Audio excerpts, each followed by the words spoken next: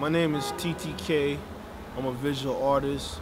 I've been going under the pen name of TTK since 1994 when I was real heavy into, you know, a teenager heavy into graffiti, tagging my name up, getting into mischievous shit.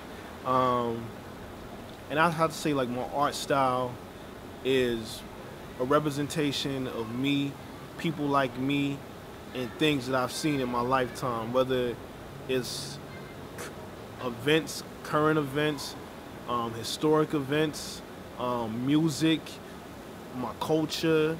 It's just a representation of all of those into one, and it's a big cornucopia of fun. That's the best way to put it.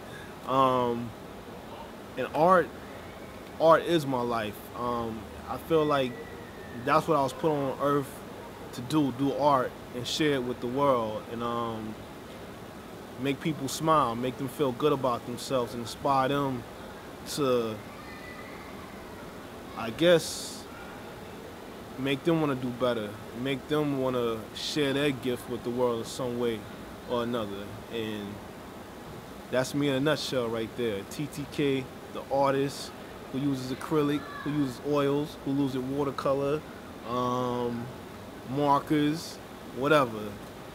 Doing artwork and make you smile and get girls.